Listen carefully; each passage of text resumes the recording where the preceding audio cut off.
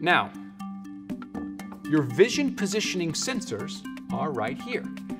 These sensors allow your Phantom 4 to hold its position when flying indoors, even without GPS signal. There are two sonic sensors and two optical sensors. Remember, there are certain environments that may prevent the vision positioning system from functioning normally. Please see the user manual for more information on that.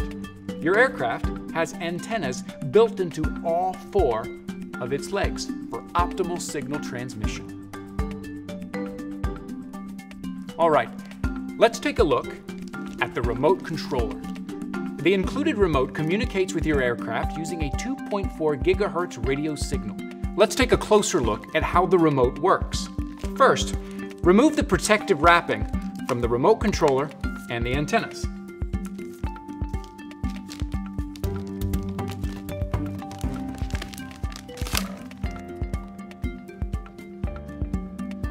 This is the power button. Press the power button once to check your remote controller's battery status, like this.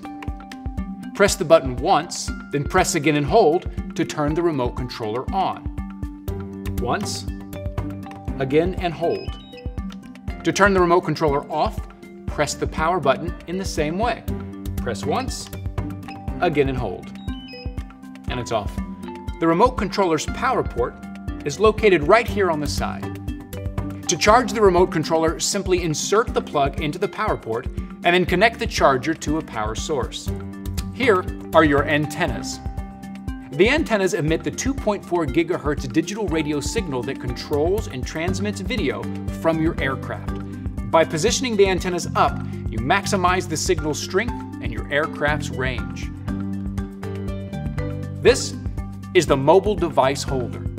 Clamp your mobile device to your remote controller using the holder. Now, if you're using a smaller device, these small tabs on the side will flip out. The clamp extends by pressing this button.